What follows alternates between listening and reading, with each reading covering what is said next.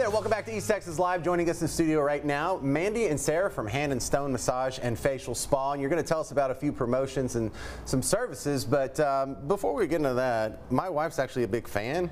My mother-in-law is, is a big fan of massages, so she got my wife um, a massage per month for a year for her birthday. Oh, yeah. And now I can't get her out of there. So just, just to let you know, I, I am quite acquainted with you, uh, you guys. You're you're in Cumberland, right? Yeah. Same one? All right. So now let's tell, tell me about the promotions you have going on. I'm sure there's some holidays or gift-giving uh, ideas that are going to be thrown in there. Yeah, so we actually are running our best gift card season um, and promotion right now. So our Black Friday gift card promotion, our members can purchase three gift cards for $139.90. So that's only $46 a service. Uh, that is our cheapest rate of the year. And then our non-members get two gift cards for $119.90. So that's only $59.95 a service. All right, what's member and non-member? So we do offer a month-to-month membership. It's only $69.95 a month, and then that does prepay one massage or facial for you monthly. And then since it isn't um, any long-term contract, you can go as long as you want, and you can stop at any time. Is that what my wife had then? Because I don't know if she got a, necessarily a package for 12 massages over the course of the year. She got a membership for a year. It sounds like maybe it was what she got. It takes more um, advantage of like for the client to just do a prepaid uh, month-to-month membership, sorry, versus prepaid. So the month-to-month is actually cheaper than if you were to do a 12-month. All right, and it gets a little more complex than just a simple massage. Y'all have all kinds of different options. What are your other options and the, the most popular ones? So I personally love to go in and get a Swedish massage, but I almost always add something on. My favorite is the Himalayan salt stone and the CBD for extra relaxation and exfoliation.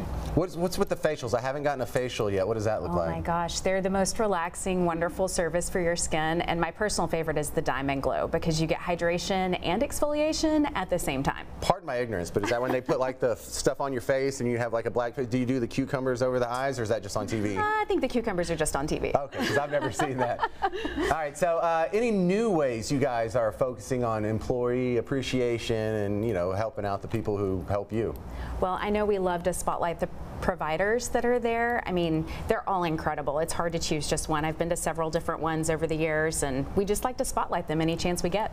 All right, so again, you guys are in Cumberland. You said it's a Black Friday special, but this is not even near Black Friday. Can we get it now?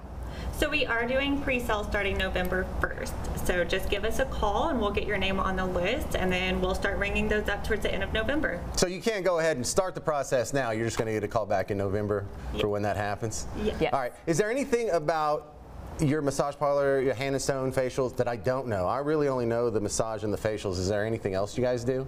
So we just offer the massage, the facials, and then the monthly membership to enjoy either or. So explain the rocks then, because I haven't done the rocks either. Ooh. The hot stones are definitely our signature service. Um, so they help loosen up and relax the muscles to allow the service provider to work deeper without applying further pressure. So how hot are we talking? You can still touch it without burning yourself. right. Well, you're not going to scorch my back, I hope. Um, and we don't leave the stones in any one area, so we use it as an extension of the hand, so it is more relaxing. I don't think I've ever even seen that except for y'all have like a sign with someone having the stones go up the middle of their spine. yeah, yeah, that's just a, a main photo of it, um, but definitely try that whenever you come in. And what was that extra adjective, a Himalayan stone? Oh, the Himalayan salt stone. Salt stone, okay. Yeah, yeah. It exfoliates your skin and relaxes you um, at the same time. All right. They're also heated too. Yes. Well, I might have to expand beyond just massages next year. All right, for more information, go to handandstonetyler.com. Handandstonetyler.com. Thank you, ladies. Thanks.